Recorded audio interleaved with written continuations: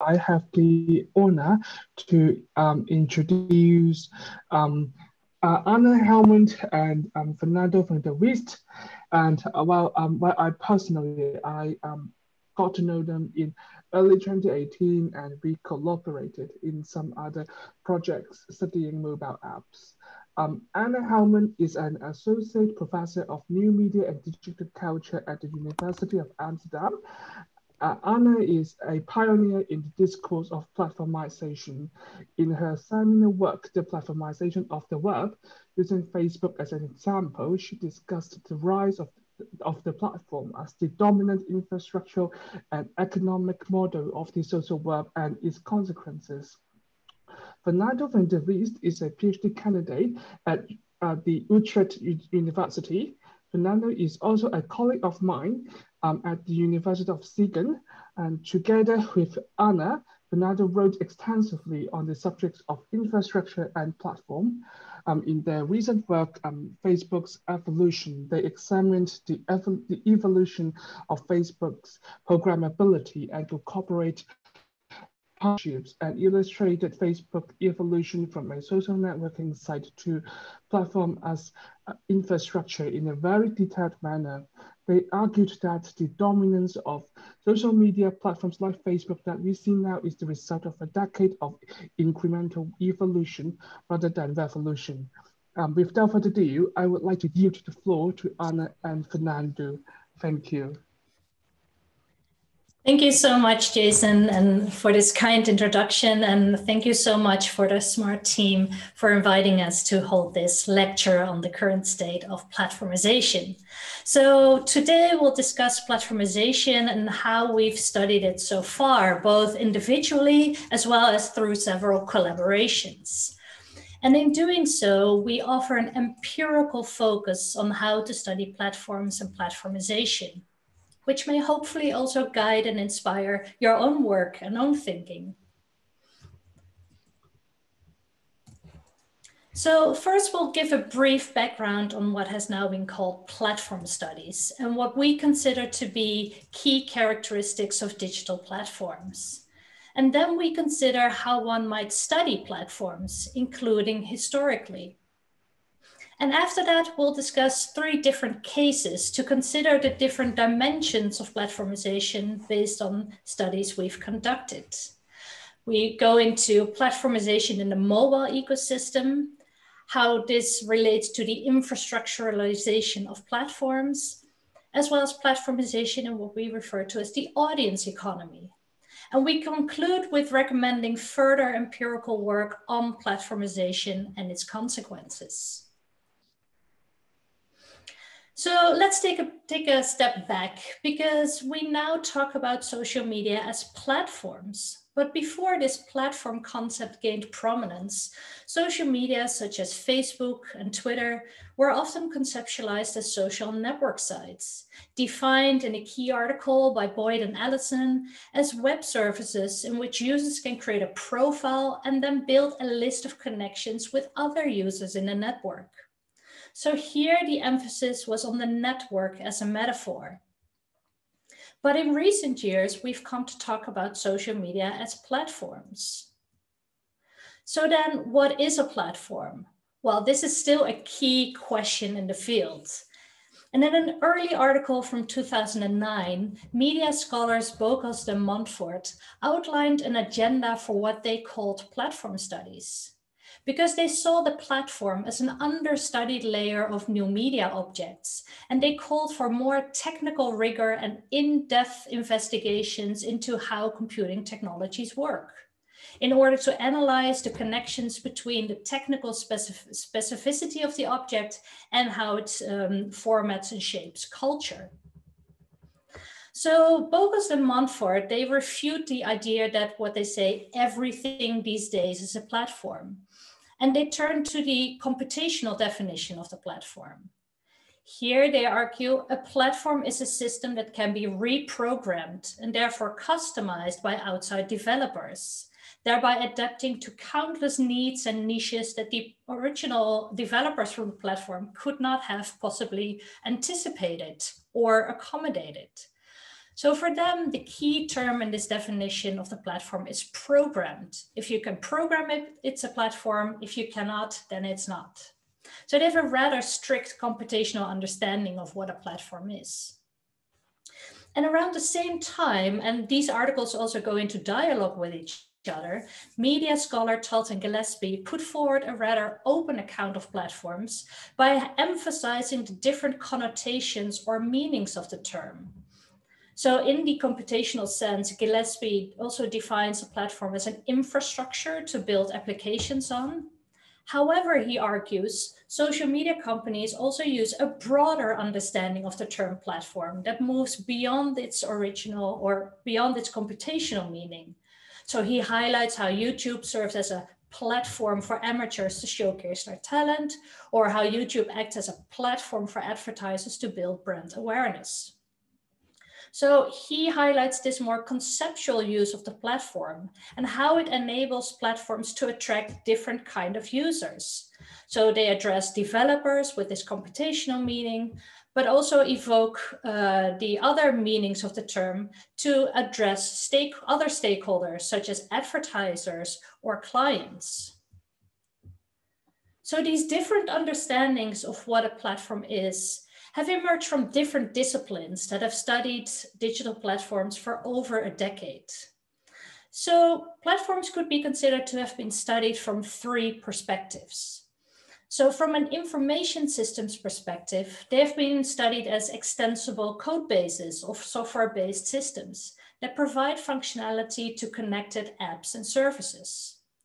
And from an economic perspective, they have been studied as multi-sided markets that mediate interactions between different stakeholder groups. And from a media studies perspective, they've been studied critically as non-neutral intermediaries. So what emerges from the many different definitions of platforms, we argue, are two distinctive characteristics of platforms, which constitute what we refer to as their platformness. So first, platforms are characterized by their programmability. If you can program it, it's a platform. If you can't, then it's not. Their modularity, they can be extended and reconfigured. And their interoperability, they can operate alongside each other and communi communicate with each other. And this, these characteristics enable platforms to, to actually go outside of their own boundaries and to share their data and functionality with other software systems. And second, social media platforms need to cater to and mediate these interactions between different stakeholders, including end users, platform partners, developers, marketeers, and advertising companies. And consequently, these platforms have come to be defined as multi-sided markets. So in our own work, we also look to these other platform studies approaches, especially for information systems and business and management studies, and urge for such an interdisciplinary approach to better understand how platforms operationalize their platform power. So let's go a little bit deeper into the two characteristics of platforms, their programmability and multi-sidedness. So how is the programmability of platforms made possible? How does, for example, Facebook become a programmable infrastructure for others? So technically, this is enabled by so-called application programming interfaces, which we've also heard about earlier. And these APIs enable multiple things. So technically, they enable the exchange of data and functionality between platforms and other web services. They enable this software to talk to each other uh, because they're interoperable. They have the same communication mechanisms. And as a result, they also enable platforms to expand themselves into other website apps and other domains. So APIs could be seen as a technological glue of the, of the web. They're kind of like the back-end technology that interconnects the web and all of its services think of um, the connection of uh, Tinder and, and Facebook, for example, made possible through the Facebook login. Also think of Cambridge Analytica, where a personality quiz app was built on top of Facebook data. But also all of these like and share buttons, which are also enabled by APIs. So that was the programmability of platforms. And the second characteristic we emphasize is their multi-sidedness. So a lot of social media research is focused on the end user, the consumer. But platforms are actually inhibited or used by different types of users. So in his article on platforms, Tarleton Gillespie characterizes platforms as digital intermediaries that draw together and ne negotiate between different kind of stakeholders and users, which each come with their own aims and agendas. So this is actually what in economics is described as the multi-sidedness of platforms, which is a way for understanding how platform intermediaries are positioning themselves towards different stakeholders, such as users, developers, advertisers, businesses, as well as a multiplicity of markets, including advertising, entertainment, retail, telecommunications, and others. So platform intermediaries play an important and active role as matchmakers to bring together various partners across industries.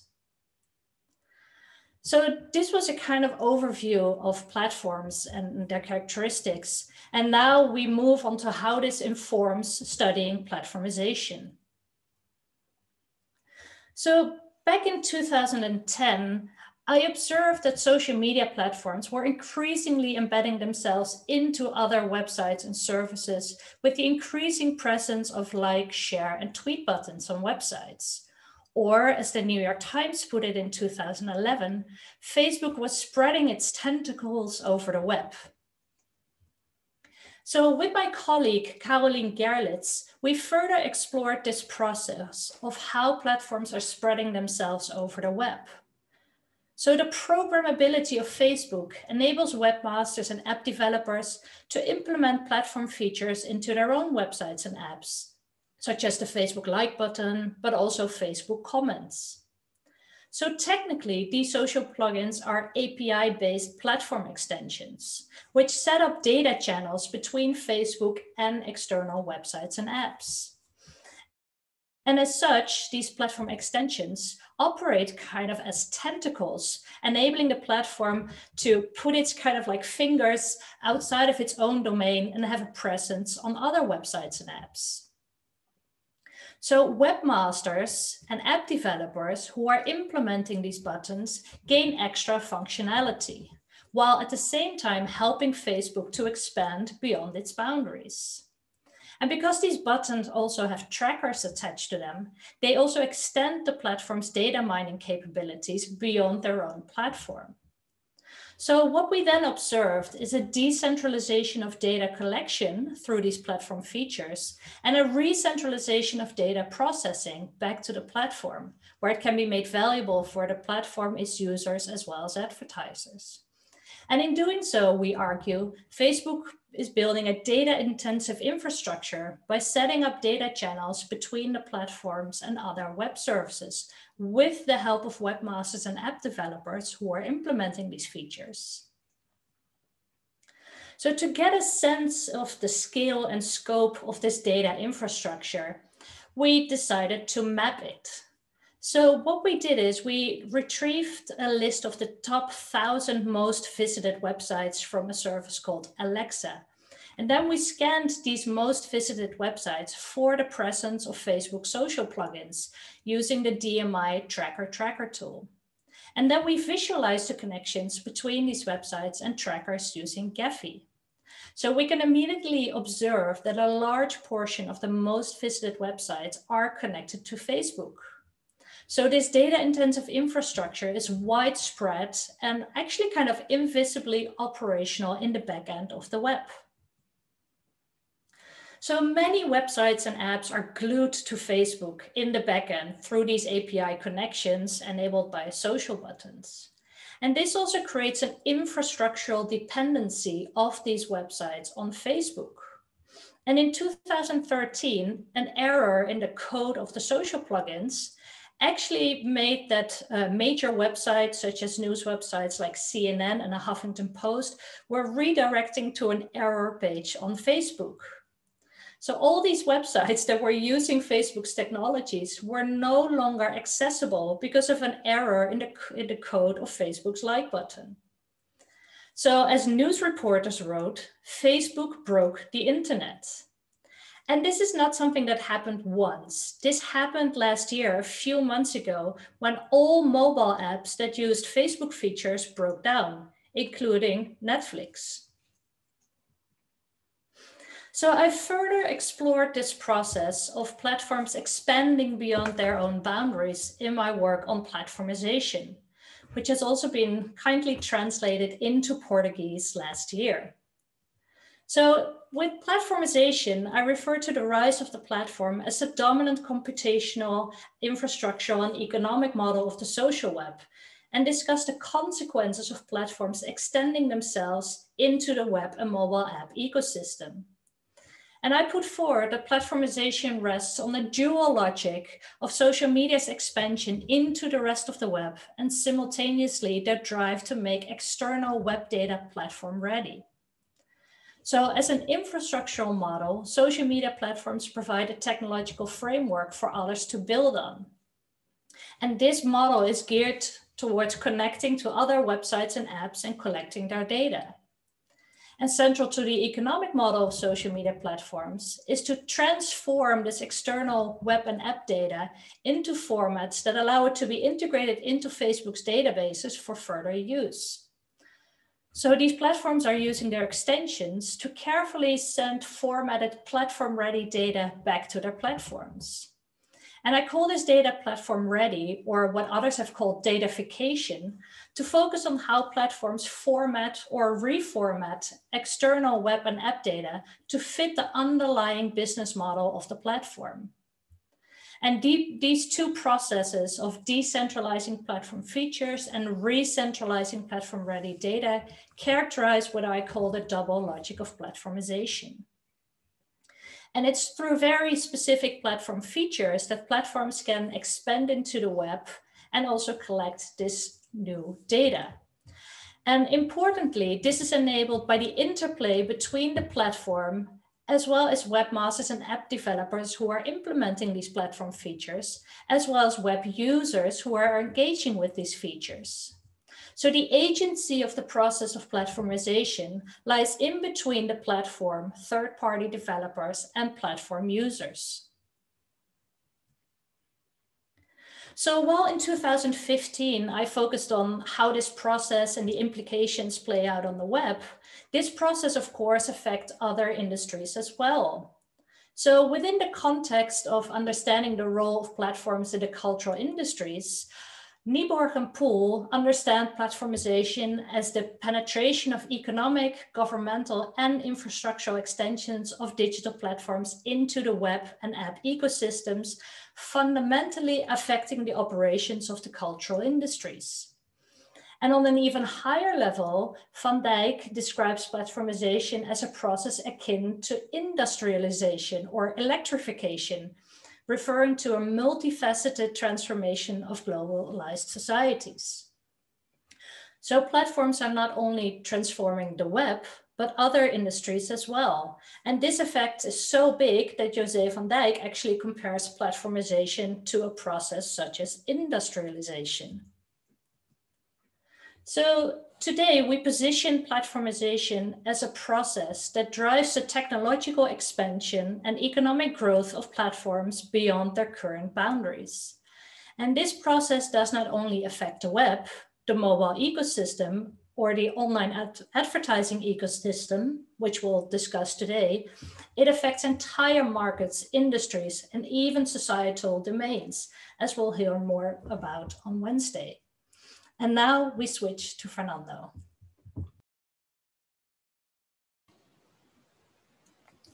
Right. So then how to study those digital platforms and especially how to study them in such a way that we can actually learn more about the relationship between on the one hand, this process of platformization as it unfolds differently in societies around the world, as well as its consequences.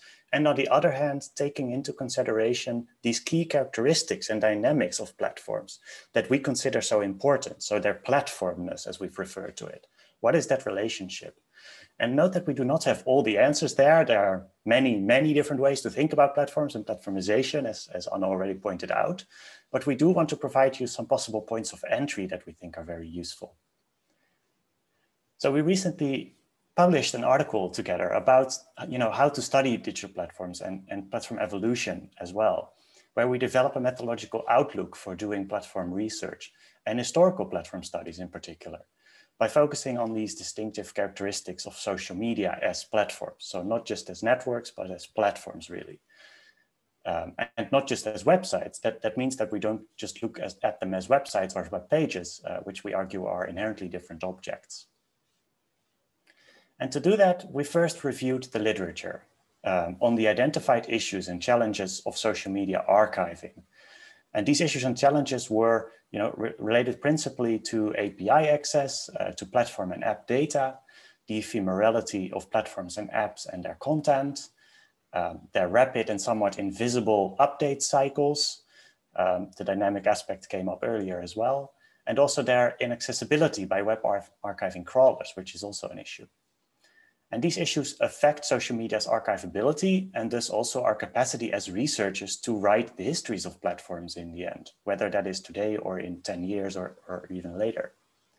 We then reflected on the approaches that have been developed to archive social media and apps and the types of histories that are preferred or privileged through that process to make an argument about platform historiography. So that means you know, the writing of platform history, the way we do that. And for example, we point out that by archiving platforms via these APIs, which is a, a dominant way to think about it, we will implicitly privilege or afford um, historical perspectives that focus on a user's content and interactions as captured in social media data, as datafied. Um, and, but we contend that there's much more to platforms than just users' content and interactions particularly when we consider social media as platforms and not just as websites. So as objects, as, as a particular type of digital object.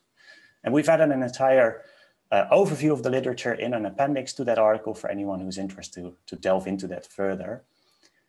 Um, but social media as digital platforms and also as, as publicly traded companies, so as businesses, they routinely leave all kinds of material traces uh, behind in their production, in their performance, in their embedding, their reception, uh, their business goals, and, and so forth. And these include, you know, APIs uh, already mentioned, but also SDKs, developer pages, reference documentation related to those APIs and SDKs, the, the change logs, the version histories and app development guides, the best practices, debugging tools and ad targeting fields and parameters. They also include business product pages, ad management and insight tools that they offer, webinars that they, that they provide, partner programs and directories that we'll get to uh, in a bit, uh, certifications and award uh, programs, training courses and learning resources, app guidelines and help centers, um, as well as blog archives and technical reports, research publications and patent applications, developer conferences and meetings, partner summits, earnings releases, uh, SEC uh, filings in the US, court documents and filings, GitHub repositories, many more than you might expect, uh, Twitter posts, public statements, technology blogs. Um, so, you know, platforms provide all these very diverse set of materials to different user groups that they accommodate. And they do that on different um, domains sometimes, but at least different public pages, subdomains of their websites. And we noted that many of these materials were not really considered as much as we uh, uh, consider they are, because they are so useful uh, that we would really recommend them to be used more. So while so social media certainly do pose all these challenges to their archiving, we also you know, contend that, that these material tr traces that are also there, in fact, that are in fact available and also provide all these opportunities that we can also explore. So that's what we started doing. And based on our inventory of these materials and of the main issues and challenges, um, we can consider this full materiality of platforms. So if we really think of the platform as a type of digital object, then that materiality is, is constituted by all these materials that we can get about them because they are multi-sided and because they are programmable. That gives us all these materials that we can use.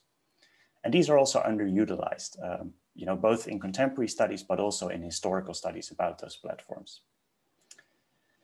Um, so in the remainder of that article, we then discuss all the other types of histories that one could also do using all these materials associated with the other sides of platforms beyond the end user. And that for us, that meant in particular, the developer and the business sides that we have been interested in for a long time.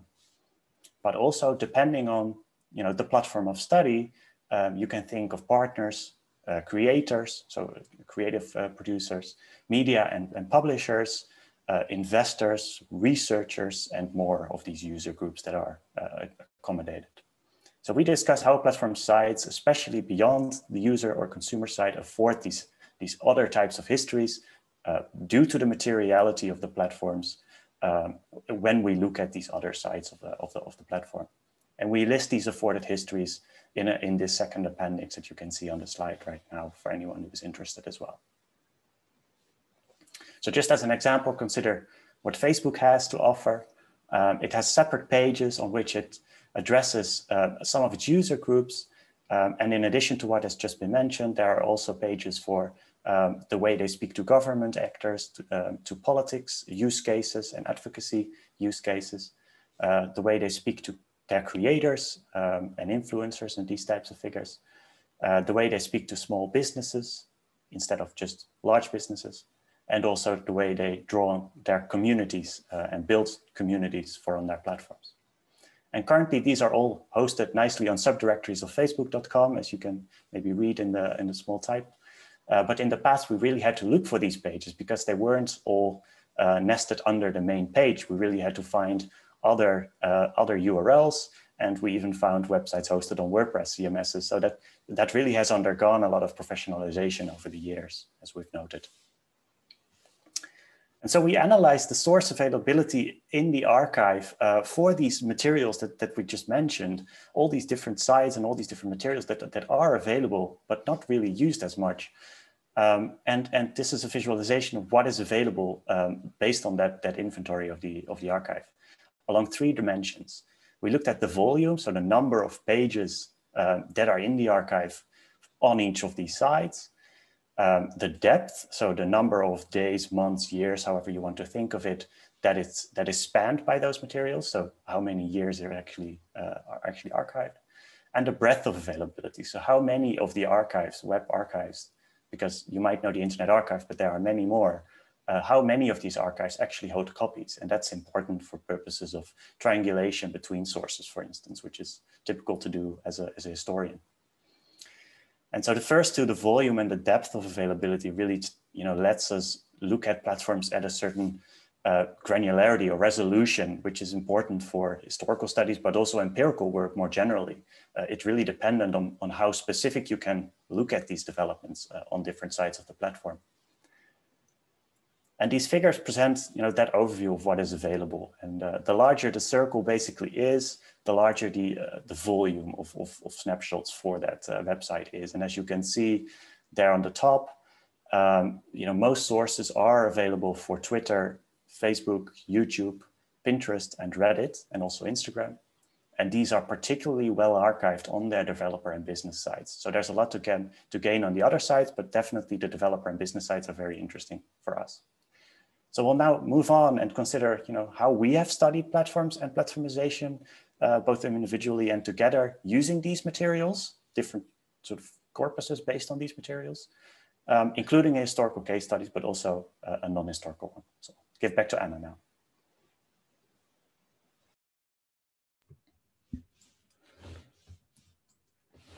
So in this first example, I'll discuss how um, colleague David Nieborg and I um, examined platformization in the mobile ecosystem. So in this study, together with David Nieborg, we looked into Facebook's economic growth and expanding platform boundaries in the mobile ecosystem through an analysis of the Facebook Messenger app. So we were interested in examining Facebook's technological expansion and business growth into the mobile ecosystem through Facebook Messenger. So here we focused on these two characteristics on the programmability and multi-sidedness of Messenger. So first we examined um, Facebook Messenger as a computational platform. How does it expand itself infrastructurally um, into the mobile ecosystem by offering this set of APIs and software development kits, SDKs, which facilitate Messenger's programmability. And to analyze this technical dimension, we retrieved all of the Facebook Messenger uh, developer documentation and product documentation from the Internet Archive and analyzed which SDKs and APIs were introduced when they were introduced and how they enabled platform expansion. And second, to account for the platform's economic growth, we focused on Facebook as a business platform by examining its business strategy and surveying which institution Messenger partners with. So to examine this business dimension, we used Messenger's product documentation as well as publicly available financial information about Facebook for investors, which actually documents Facebook's long-term strategic business goals, its mobile platform strategy, how it aimed to monetize messaging, as well as discuss the growth and role of mobile advertising, the role of partnerships, and many statements specific to the Messenger app and its rollout. So Facebook Messenger is actually one of the most widely used messaging apps with over 1.3 billion active users worldwide. So when we looked into this evolution of Messenger, it initially existed as a feature within the Facebook website. But it was launched as an app in 2011. And then actually the messaging feature was removed from the website in 2014. So in order to understand Facebook and all of its different websites and apps, we conceptualize Facebook as a data infrastructure that is hosting a variety of what we call platform instances that include websites as well as a family of over 72 apps. And each platform instance, such as Messenger, functions as a technical and economic platform configuration that facilitates connections and interactions between users and multiple partners, such as advertisers or businesses. So during its transformation into a mobile business, Messenger became the first platform instance to be launched after the Facebook app. And this could be seen as a form of platform unbundling, where Facebook turns different products or platform instances, such as Messenger, into their own platform that attracts users, businesses, and advertisers. So a key aspect is that Facebook did not merely unbundle Messenger into its own app, but it also turned this Messenger app into a platform. That is, it opened up Messenger to external developers, thereby enabling its external uh, expansion into other apps and services. And at the same time, it opened up to a group of selected commercial partners, taking steps to set up this multi-sided markets. So what we observe here is how an app can evolve into an infrastructural platform for other applications, or what Tiwana conceptualizes as a nested platform, or it's actually a platform within a platform. So what we observe here in terms of platformization shows some similarities with platformization on the web. On the one hand, Messenger offers SDKs and APIs to enable developers to integrate Messenger functionalities into their own websites and apps. So it's kind of like an outward extension of Messenger. But in this case, uh, Facebook was also offering uh, the development of bots, extension, and games within Messenger, facilitating the inward extension of Messenger, turning it into kind of a super app similar to WeChat with all external functionality integrated into it. And ultimately, we see the unbundling of Messenger as an example of Facebook's effort to position itself as a central data intermediary in the mobile ecosystem, with the aim to become the default connective layer or mobile infrastructure on top of mobile operating system. And in doing so, they're also supplanting and suppressing more open technologies such as making calls and texting, because it's now all folded into the Messenger app. And now we switch to Fernando, who's going to talk more about the infrastructuralization of platforms. Right. so meanwhile, while this was happening, this change with, with Facebook Messenger, um, we've also seen this introduction of a, what, what, what has been called an infrastructural turn in research on platforms and platformization that we would like to, to get to now. And in particular, we're thinking of this article that was published by uh, Jean-Christophe Plantin and, and, others that appeared in New Media and Society a couple of years ago, where the authors point out that platform-based services were increasingly acquiring the characteristics of infrastructure, while they at the same time, you know, the, both new and existing infrastructures were also rebuilt and organized according to the logic of platforms. So platforms becoming infrastructure and infrastructures becoming platforms. And they, they illustrate this point uh, around Google and Facebook in particular. And other, you know, people in other fields also made similar observations, especially in the field of information systems research um, from a technical perspective. And we agree with their, their assessment of the situation and also see the potential in combining these two you know, theoretical frameworks, infrastructure studies and platform studies, uh, for future research in that, in that area. But at the same time, we're maybe less interested in these traditional characteristics of infrastructure that they point out, which is the shared, widely accessible systems and, and services of the type often provided or regulated by governments and in the public interest, uh, which is how they sort of define what infrastructure means. Um, and we think these are certainly important aspects, but we also wonder, you know, what makes a platform infrastructural in the first place, or how to think about that, given that they are currently not provided or regulated by governments in the public interest. So which other ways can we also think about infrastructure uh, or these, platforms becoming infrastructural? Um, and, and then we also, uh, you know, learn a lot from early infrastructure studies work by uh, uh Star, Star and others.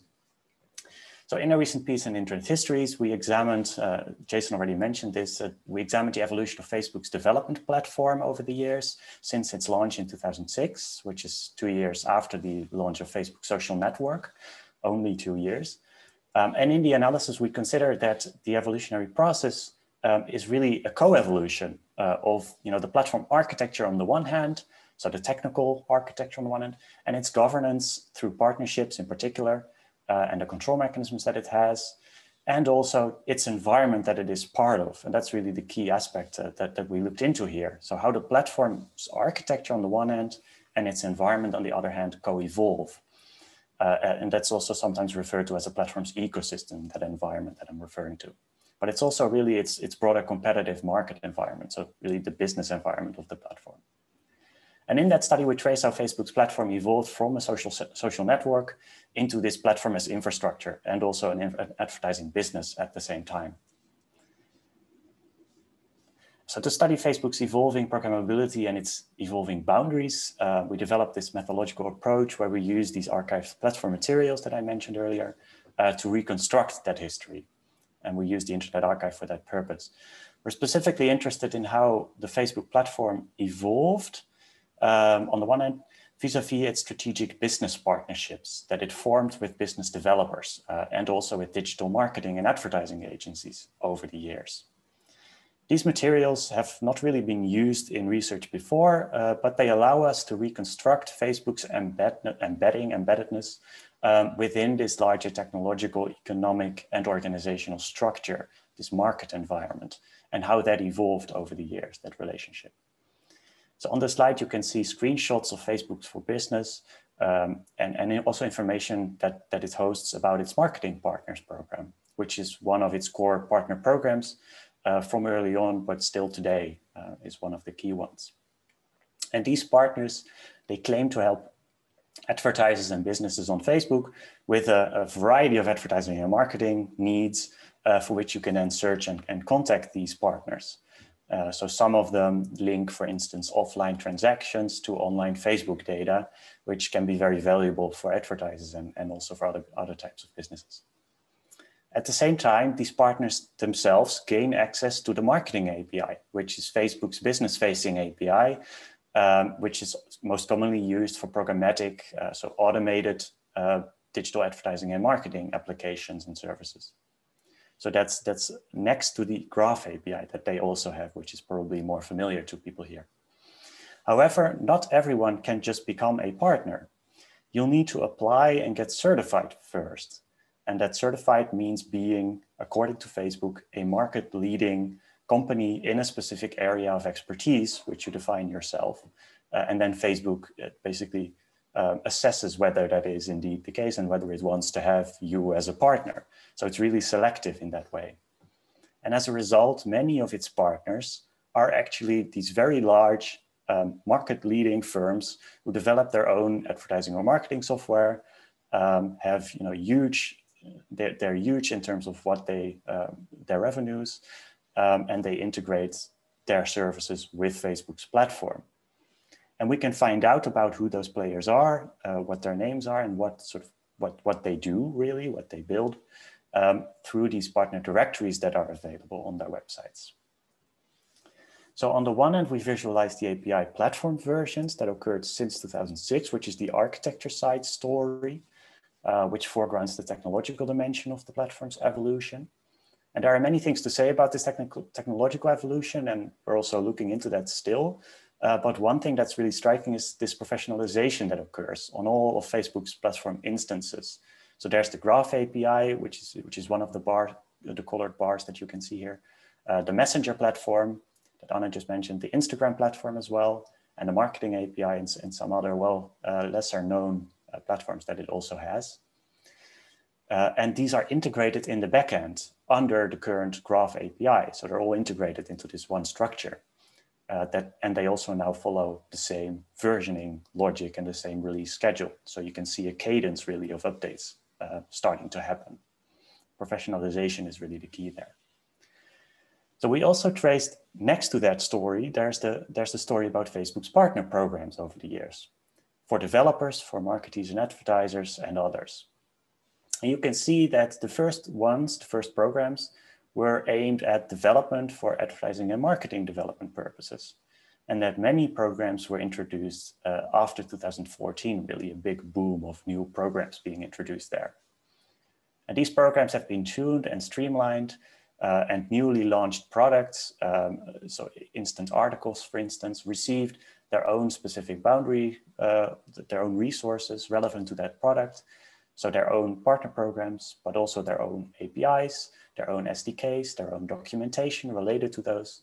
Um, and there's also a responsive aspect in that because after Cambridge Analytica happened in early 2018, I, uh, I guess, uh, there's also a data abuse bounty program. Uh, and with the 2016 uh, elections in the US, we also saw new fact-checking programs, uh, for instance.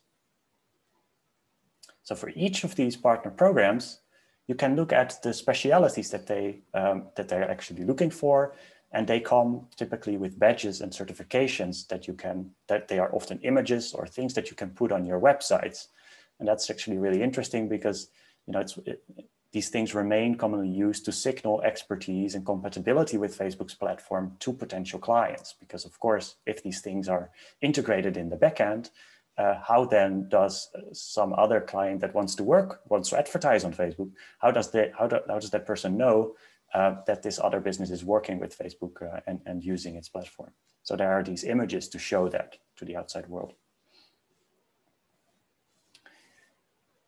And when we take all of the firms that, we, that were included in Facebook's marketing partner programs over the years, we get this list of partners at 14 different points in time and we found over a thousand unique partners in that, in that period.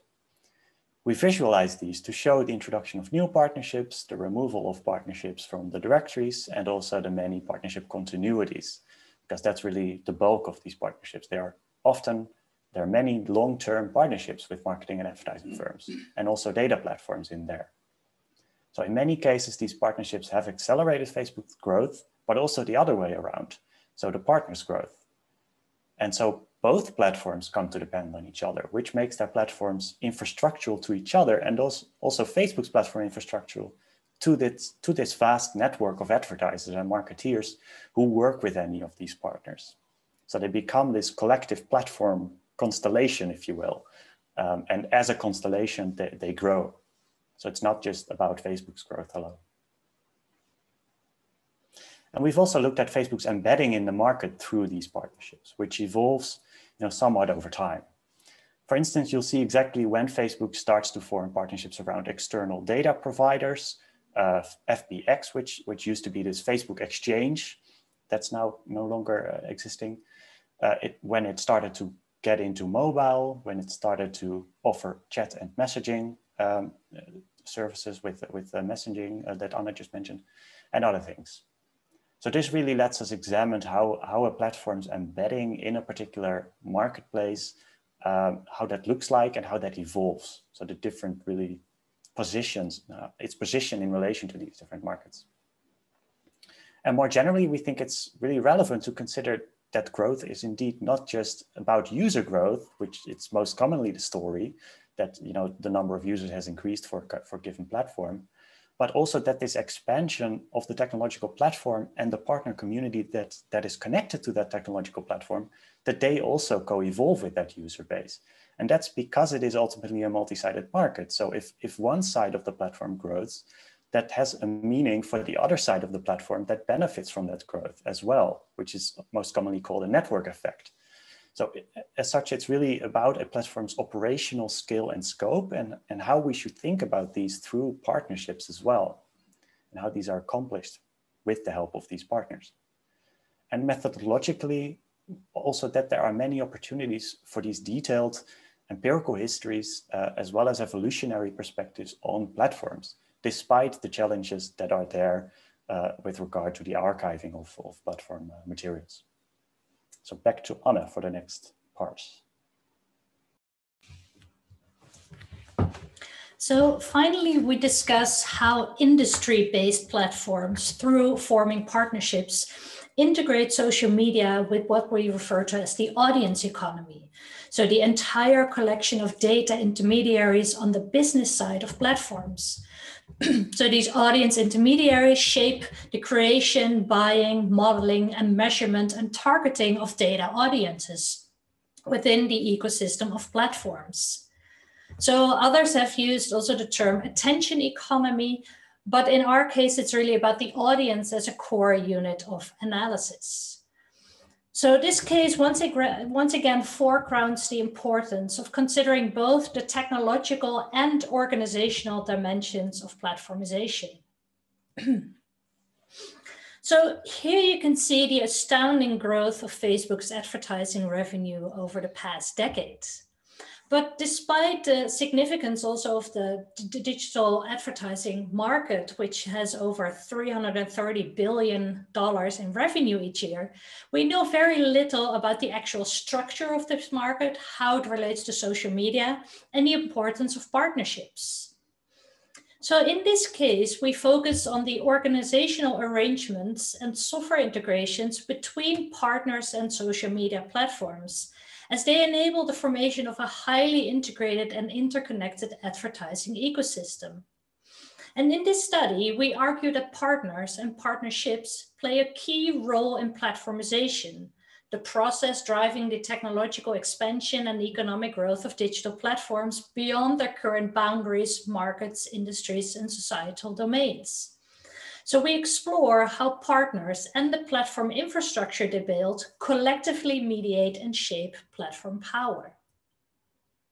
So we developed the argument that platformization is both, on, both based on an organizational level through partnership arrangements and those that are underpinned by technological arrangements. So application programming interface, uh, API-based software integrations between these uh, social media platforms and their partners. So we devised an empirical method to trace partnerships and to map these partnership relationships around the most used social media platforms to examine which partnerships exist, which are exclusive or shared, and to identify key sources or nodes of power. And we examine how industry-based firms, through forming partnerships, integrate social media with the audience economy. So first, we created a list of the leading social media according to Statista. And for the top 20 social media platforms, we actually located 36 different partner directories, listing over 1,500 unique partnerships in total. So we then collected the names and details for all of these partners using custom built scrapers. So we then visualized the relationships between the top 10 top 20 social media platforms and their partners, where each node here represents um, a single platform, a single social media company, or a partner company. And each link then is a partnership, thereby highlighting unique and shared partnerships, central players, etc. And we found that the most highly connected partners in the center are all largely cloud platforms that are providing cross-channel marketing solutions, social media management, and audience data sources that traverse multiple social media platforms. And these central nodes in this network include companies such as Oracle, Adobe, SAP, Salesforce, Spredfast, Acxiom, and Experian. So Acxiom and Experian are known data brokers. They provide and sell data sets about users. And they're key players in this ecosystem of partnerships around social media. So this is an organizational ecosystem of companies providing platform related tools, products, and services. But at the same time, this network is also underpinned by a technical ecosystem of partner integrations. So they could all be read as lines of um, interconnected data flows. So what we see here is who is cooperating with whom, but it also provides a roadmap of all the interconnected and integrated software of these companies enabled by API-based software integrations. And these software integrations enable actors within this network to combine data sets about users for targeting purposes, for example. So in short, these partnership networks materialize in organizational arrangements of firms with technological infrastructure between them. In the next step, we focused on those partners in our network who are categorized as these data intermediaries. So we located 67 in audience intermediaries and we found and scraped another 50 partner directories, listing almost 10,000 additional partnerships and software integrations. And then once again, extracted all their names and details and visualized their connections.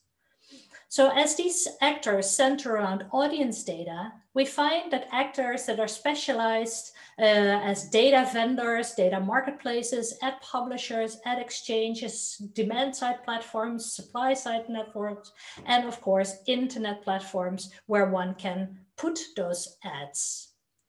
So in forming strategic alliances and by developing these uh, infrastructural integrations, platforms and our partners are collectively building media and data infrastructures. They're building integrations to connect separate data sources, ranging from data on geolocation to offline purposes to voting behavior to political leaning. But they also built integrations to connect a wide range of media channels. So you can send your ad um, on different multiple social media platforms, search engines, mobile, TV, or even outdoor media. And in building these infrastructures through these technical integrations, social media platforms and data intermediaries are both deeply entrenching themselves within the digital advertising and marketing ecosystem. And because this network is comprised of key actors in digital marketing and advertising, they're also entrenching themselves inside third-party websites and apps through various tracking technologies. So when we matched our entire data set to a Ghostery's tracker library, we found that nearly 600 of the actors in our network are also known to operate trackers.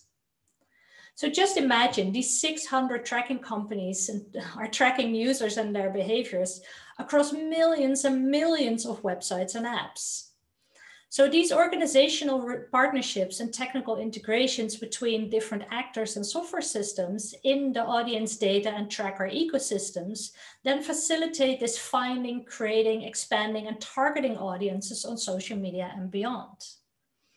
So partners, um, social media platforms and their partners are collectively building this highly complex infrastructure, facilitating audience creation and targeting that are central practices in the digital advertising and marketing ecosystem. And we argue that if we want to better understand the source of social media's platform power, we also have to consider their organizational and technical relationships with data intermediaries in the audience economy. Consequently, platform power does not consolidate within a single platform, but is distributed throughout the ecosystem as these partners help build platform infrastructure.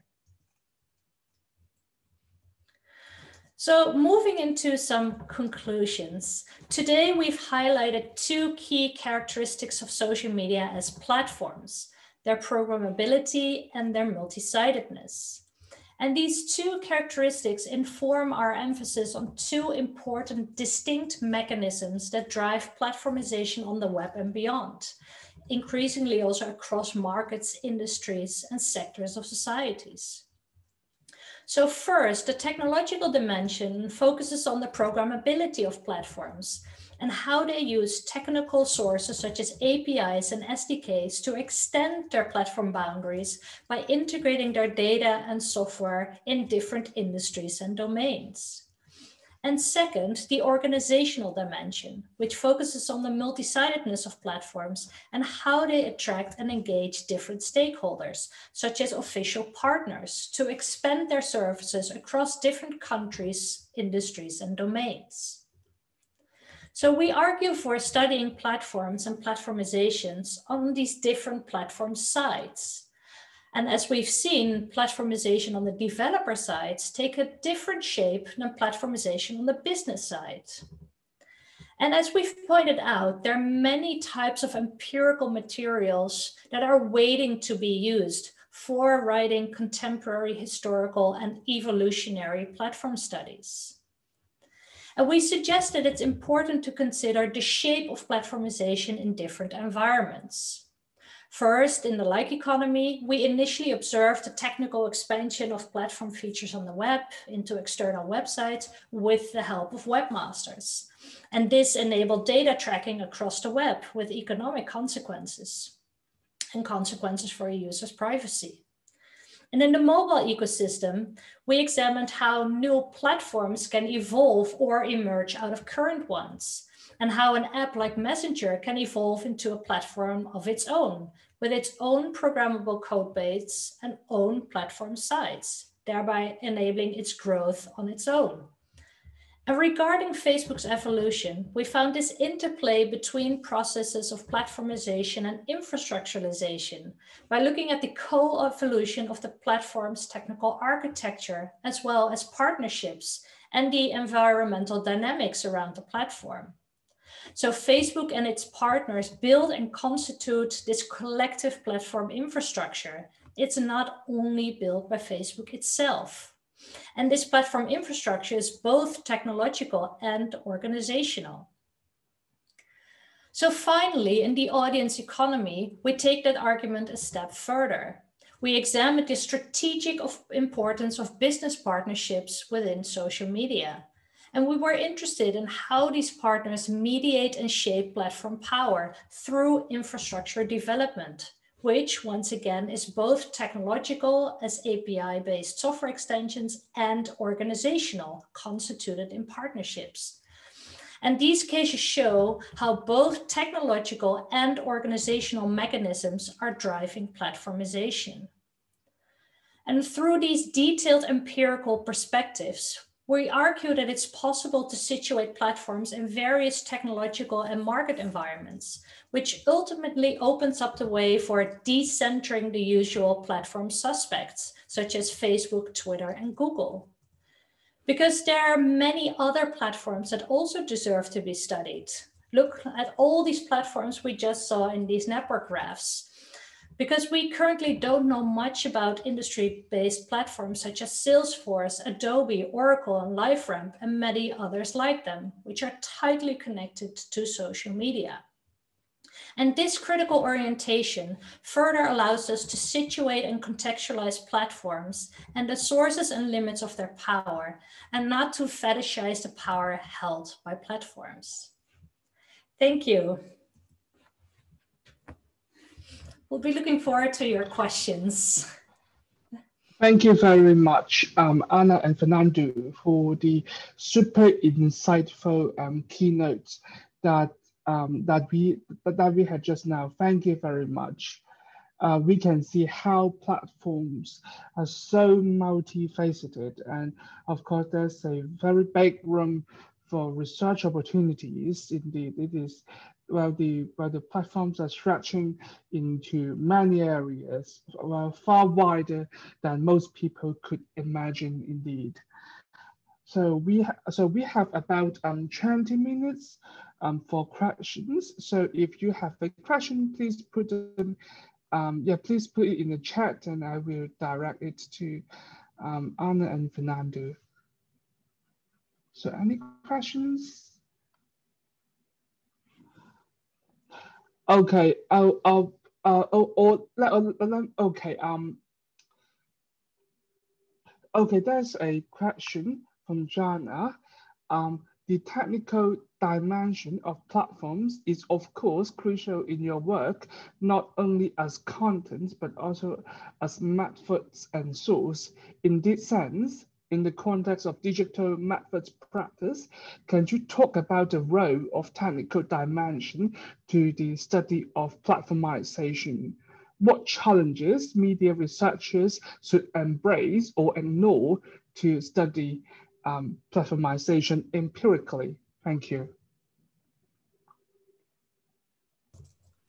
Maybe I'll start on maybe, I don't know if Fernando has an addition to what I'm to say. So thank you for this great question.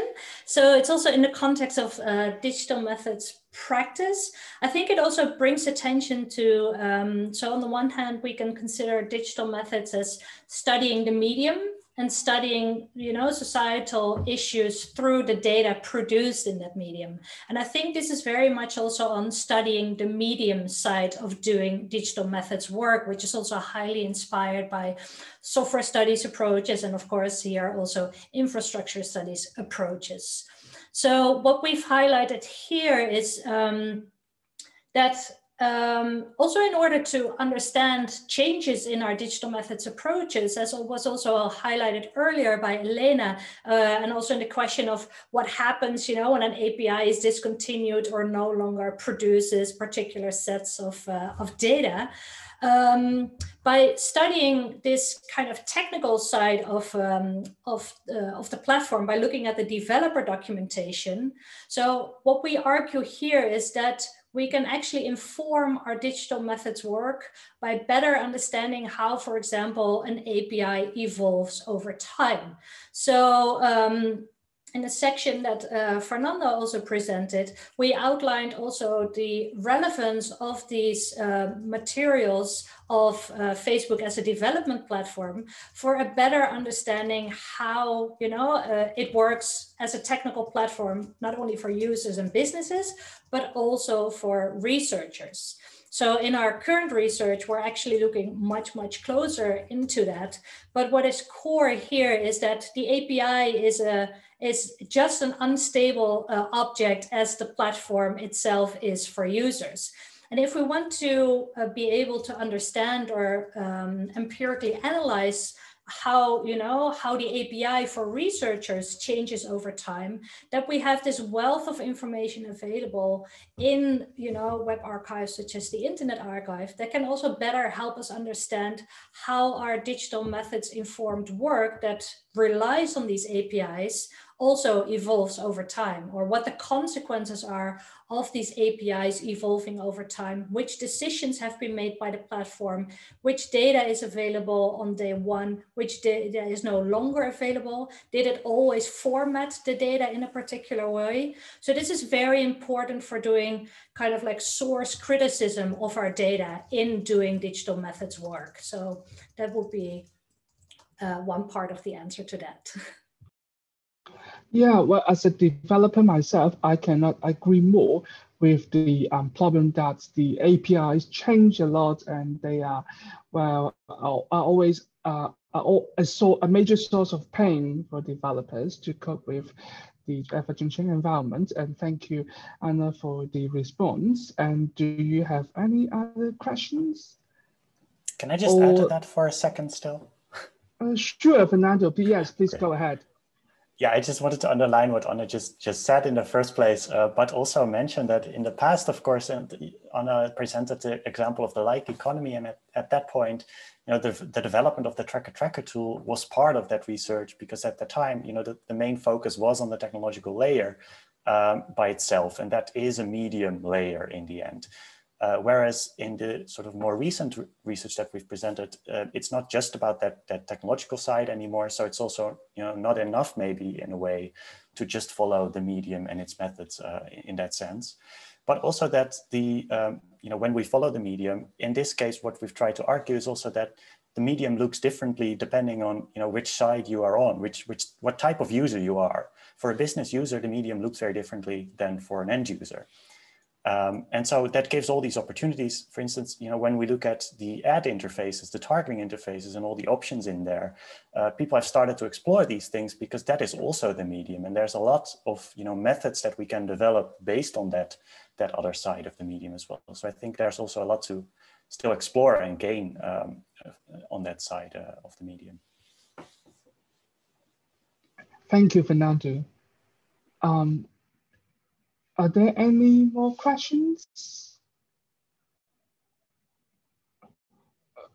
Um, if there isn't one here, I would like to take, uh, well, well, well, use my privilege to, you use my privilege to ask a, a question. Um, well, you mentioned that um, there are um, well, quite many things about platforms that are not well studied yet, and there are quite um, many research opportunities. And one of the things that the tech space um, um, um, um is concerned about is the hoarding of patents. There are, there are so many platforms and companies there um, well, well developing nonsense patents or, or, or or registering patents that, that they don't use now, but they might eventually uh, monetize on those patents. And yeah, of course, this is one of also a major factor um, in the economy um, of the platforms. And this is this is just uh, one of those uh, many things that are not uh, well studied.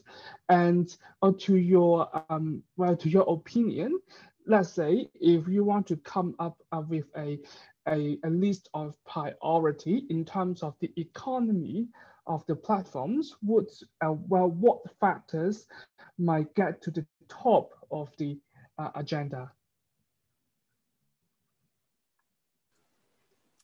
I'll try to give an answer to that. That's that's a very interesting um, development indeed. I, I, think that is, you know, also something that hasn't been really considered as much. Um, I think it came up a couple of times, but not really, you know, structurally as a concern for media scholars at least. Um, you know, I think it's it's a very interesting development because the more powerful, the bigger the platforms become, you know, the more power they have to do these things. Uh, the more sort of in, the more people they can hire to to to get that uh, to, to register those patents in the end. Um, so maybe we can see that as you know not being a good development. At the same time, you know these documents are still public because patent applications are registered. So I guess it's still better than not having anything at all about you know that we can look at. Uh, if we wouldn't have anything to look at about how those methods techniques work, then you know we would have even less. So I guess we should be happy that there are still these patent filings. Um, but definitely again that they you know aren't really used as much but there's a wealth of information in those applications uh, that we could use including related to the to the uh, the targeting sort of techniques i mentioned before. Uh, i remember at some point uh, this this article came out about um, the, the, the way in which they do the uh, in which in which facebook facebook did the categorization of people by socioeconomic class, and there was a, a, patent registration done for that. And then suddenly, you know, there's there's journalistic interest in that. Uh, but of course, we can also use that information to detail how the medium works. So I guess there's always a two side, two sides to the to the story. It also offers opportunities. Yeah, thank you, Fernando. Now we have a question from Charis. Uh, I'm sorry if I mispronounced your name. Um, thank you so much for an insightful presentation in terms of governance. What would platformization and platforms omnipresent expansion mean for the creation of cultural artifacts and culture creators' dependency on platforms like news and media. What effect does it have in terms of power dynamics and asymmetries? Thank you. So thanks for this great question, which also points towards to how platformization also affects other industries. And um, here I would also, yeah, like to recommend some literature on uh, from from our colleagues. So, for example, um, um, uh, Nieborg and Poell have written about you know the platformization of the cultural industries, where they they discuss how these cultural artifacts are, or the production of these cultural artifacts is affected. Um, and in the the book on the platform society by uh, Jose van Dijck and co-authors, they discuss the effects uh, on news. And what I find also um, really interesting also when we discuss it here in terms of um, um, you know centralization decentralization and also gaining these infrastructural uh, properties we do see these highly highly um, um, asym asymmetry um, um, emerging. So while on the one hand, these, these platform partners are, for example, very reliant on these platforms, and these platforms are very reliant on these partners because they're basically outsourcing uh, all kinds of uh, advertising services to these partners. So they're send their clients to these partners like, this company can help you with all your Facebook advertising uh, uh needs. It also creates like, um, uh, yeah, a mutual dependence on these kind of uh, services, where also these other companies gain uh, power dynamics uh, that go beyond the social media platforms themselves. So what we observed when we mapped, you know, all these audience intermediaries in the in the audience economy, is that there were a few central actors that are actually um, these giant corporations such as uh, Adobe and SAP um, because they enable, they have software uh, in which they also operate data markets, for example. So what these giant actors do is they kind of like converge around all these social media platforms, then also connect to all of their partners. And in doing so, they are also establishing themselves as core, um, um, yeah, core actors uh, in the industry, which creates high, uh, high asymmetry in terms of these uh, uh power dynamics. Uh, and maybe Fernando could add something about advertising in general there.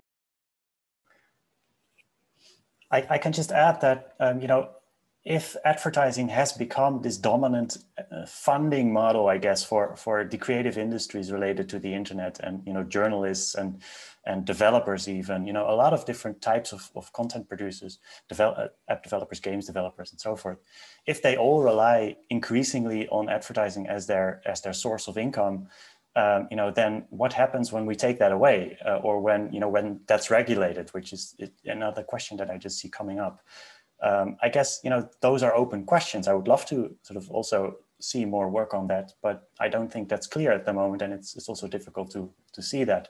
What we have seen is that over the time, um, as we have been looking at that entire landscape, many of the players in it have um, either you know just disappeared because they they failed, uh, but many more they have been acquired. For instance, a lot of acquisitions in that space and mergers. Uh, so huge wave of consolidation and actually also several waves. So, so there have been waves, for instance, of uh, integration of data platforms in these advertising players um, to also uh, sort of anticipate the regulation um, by GDPR uh, that it posed, and especially related to cookies that are increasingly difficult for them to use because of the uh, sort of uh, the changing possibilities around cookies due to GDPR. Um, so they, they're really looking for other ways to use data, to collect data, um, and that also has consequences for the type of companies that you see in that space. Um, we have a question from Jose uh, well, about the GDPR. Um, is it possible to empirically analyze the impact of regulation on networks represented? I'm thinking about the GDPR, for instance. Thank you. No, that's a great question because um, uh, we would say partially yes, you could actually see it from uh, the changing composition of the networks. Because what we've observed is um, so we've been mapping these partnerships for maybe almost five years now. So we also see how the you know how the network changes over time. And what we do see is, especially when we look at the specialties of partners that they're specifically also positioning themselves in terms of uh, finding solutions for, you know, um, for um, G- GDPR um, approved ways to use data. So they're really, we see these platforms actually um, rhetorically positioning themselves as, you know, offering solution for the current GDPR um, uh, implementations. And the second thing that we also found is um, when we looked in more closely into how these APIs evolve over time, we actually saw, for example, that at one point, particular elements or fields of the API were no longer accessible because uh, they had to be um, uh, deprecated for uh, for for the context of Europe in you know to follow uh, current GDPR regulations. So to put it simply, what we find is you have all kinds of data available for APIs, but in a documentation, we actually find which are the key elements that are no longer available for users in Europe or for developers or marketeers in Europe because they have to apply to the GDPR. And here it's interesting, of course, that the documentation um, then also distinguishes between, for example, US based or North America based developers and European developers who actually now have different kind of access to data due to the implications of GDPR. So yes, we find how the platform responds uh, and how the ecosystem responds to these new kind of like legal uh, regulatory frameworks, um, both in the composition and in the kind of data they make available to others. Um, thank you, Anna, for the um, um, for the response. So, are there any other questions?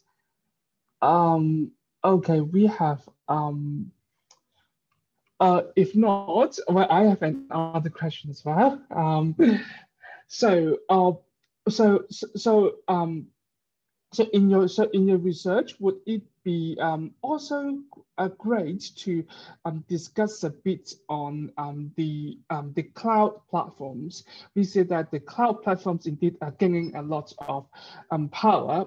Uh, for for for example, after the um, the, uh, the Capitol siege in the United States, uh, Amazon uh, banned um, a, a social media app called Parler to use its platform. Well, in the past, when we develop apps, we are free, we are a lot freer to host our service anywhere. So uh, we, we are not so um, bound by uh, uh, a particular um, um, um, um, infrastructure or cloud service providers, but now the powers, as you said, they are there, there's a trend of um, re-centralization. So the these traditional um, cloud services are, um, are, are, concentrating into the hands of a few uh, big cloud service providers. Uh, yeah, I would wonder if these big cloud service providers are who uh, provide the, the, infrastructures for many other apps um, developers uh, while also gaining well tremendous well, tremendously great power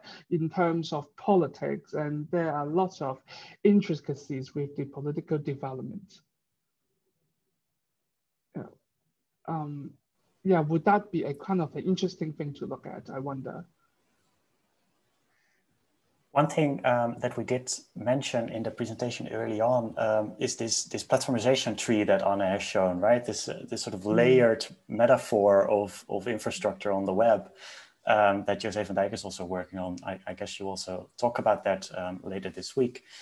Um, because of course there is a lot of sort of vertical structuring happening in this space because of the platform logic being this dominant model uh, uh to, to uh, on the web.